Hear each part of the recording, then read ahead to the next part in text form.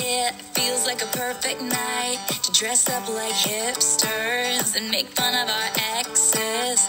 Uh uh, uh uh. It feels like a perfect night for breakfast in midnight to fall in love with strangers.